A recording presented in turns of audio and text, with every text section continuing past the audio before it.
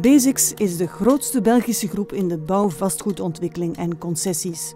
De groep is actief in Europa, Noord- en Centraal-Afrika, het Midden-Oosten en Australië, alles samen in 22 landen en vier continenten. De Basics groep telt meer dan 18.000 werknemers.